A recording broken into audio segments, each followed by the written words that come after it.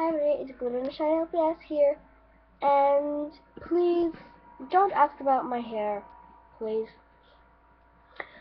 Okay, today I'm gonna. This is a short video, just to tell you what to not do if your cousin Nicole comes over, cause she was here yesterday, and uh, yeah.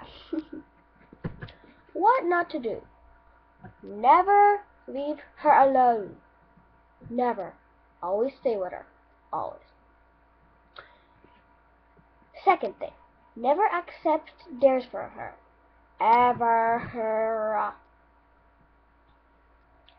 Third. Uh, you'll be aware of that if you have a cousin Nicole. So that was pretty much for today's video and bye.